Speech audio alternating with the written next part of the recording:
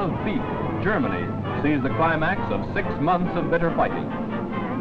Canadian armor moves across the Belgian border into Germany.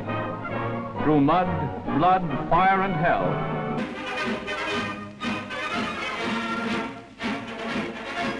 The German frontier at the town of Beek. Pathé Gazette cameraman Kenneth Gordon was the first newsreel representative to enter Germany. During a short spell of leave in London, he gave us this account of his experiences.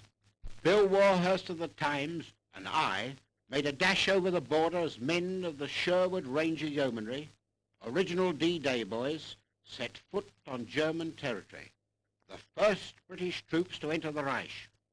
I got a big kick out of the white flags that had been hung out, and it was great to see German sentry boxes now manned by our boys. I don't mind admitting it, I didn't stay there long. The town of Beek is half in Holland and half in Germany. Now it's wholly in our hands.